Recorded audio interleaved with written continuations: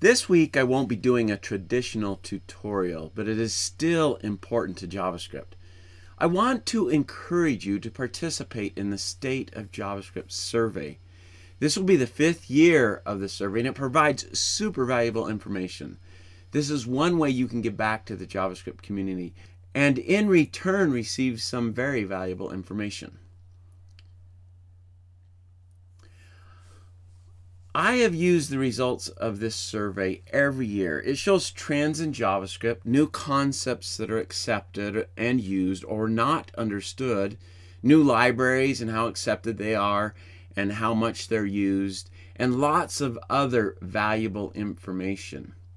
The survey takes a bit of time to complete, but please go to the URL and take the time to fill things out.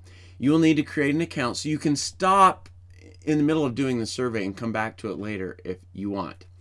Now, I want to show you what types of information the survey is gathering so you can see the value of it. So I'm going to log into my account here and click on Take the Survey. And then I'm just going to sign in.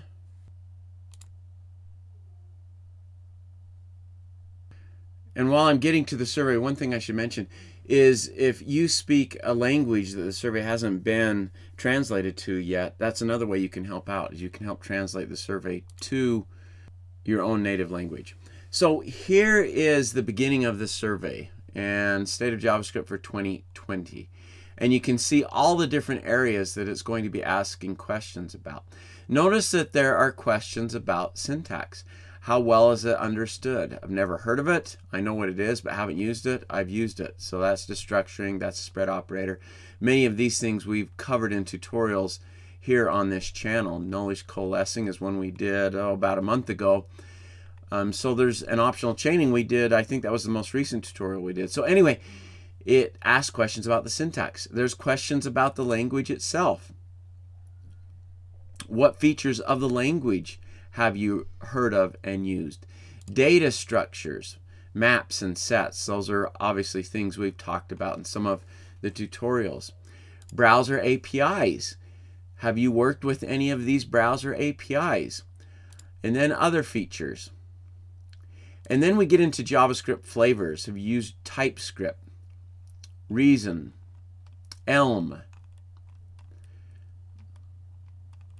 and so on? We're getting uh, a lot of different JavaScript flavors there. And then front end frameworks.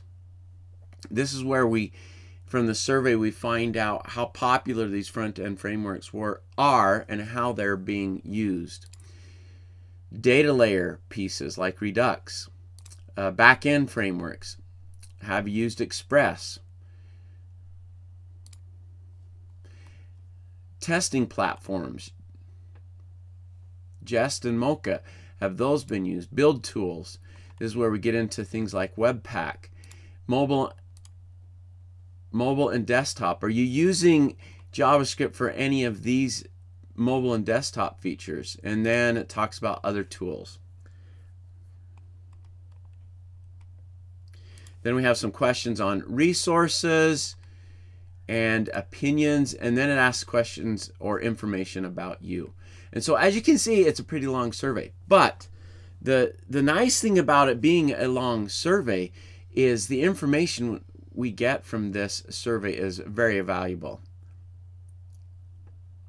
And when it's all compiled, it takes a couple of months, you'll receive a link to see the results. It seems every year I spend a good deal of time on the results. It really clarifies the state of JavaScript for me. I know where to focus my own learning as well as what topics should be covered in my teaching or on this channel. And I think you will find it very helpful as well. So take some time, fill out the survey, give back to the community, and once again, thanks for subscribing and watching to my channel as well. I'll talk to you next time when we will have a more traditional tutorial.